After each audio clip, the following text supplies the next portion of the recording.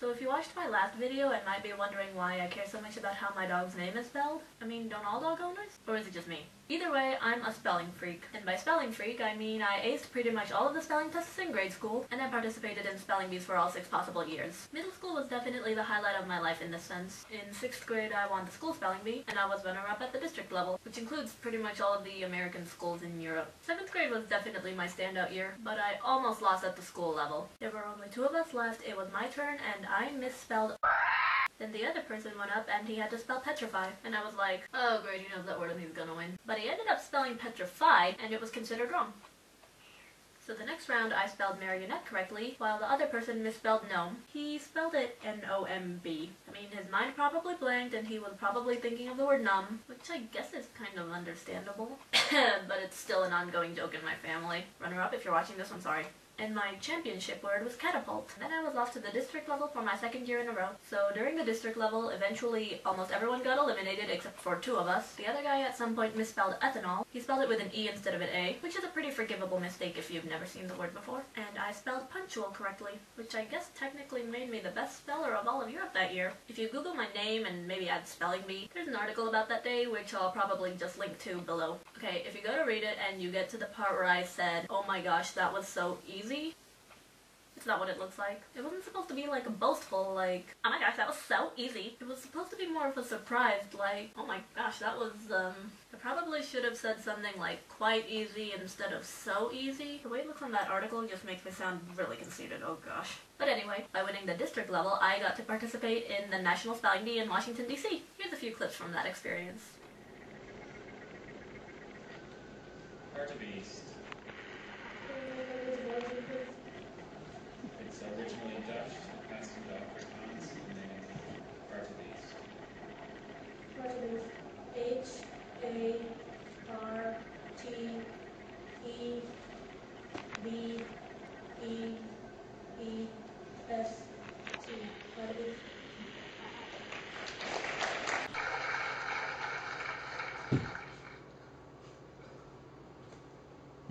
Thrasonical.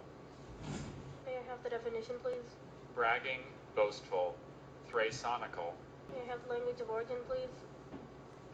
It's from a Roman literary name. Can you use the word in a sentence, please? A common trait of Thrasonical people is using the word Thrasonical with an obnoxious grin on their face. Thrasonical.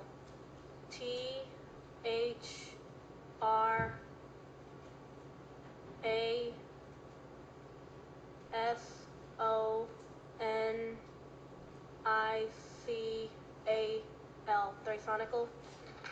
Ah, that was quite a fun experience. Unfortunately, I didn't even make it to the semifinals, but I had fun nonetheless. Now, 8th grade I'm a lot more reluctant to talk about. I mean, I did win the school level again, but I wasn't even runner-up for the district level. I misspelled this one word that I really should have known, but I guess my mind blanked and I got nervous or something.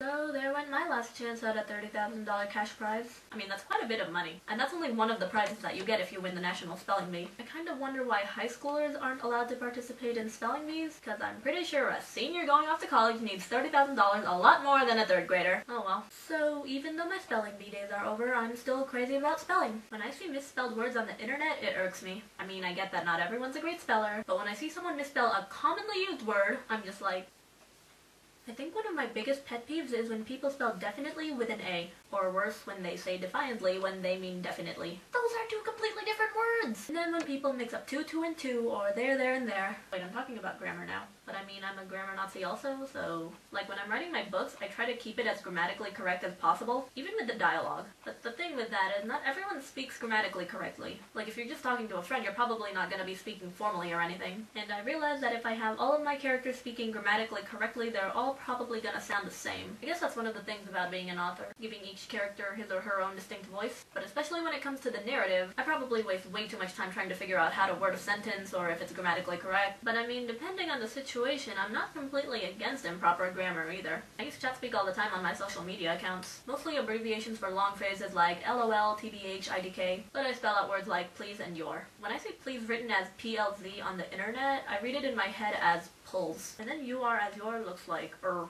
I guess that about wraps up my experience with spelling. So if you've been watching my previous videos, then you know what it's time for. Was a relatively small mosasaur that probably hunted fish and other small aquatic creatures in the late Cretaceous oceans between North America and Europe. This rather obscure marine reptile was at one point named Baptosaurus by Othniel Charles Marsh because of a fish with a similar name, but a single letter difference is sufficient, so the predator has retained its original name. As per usual, you can click subscribe if you want to see more videos from me. See you later!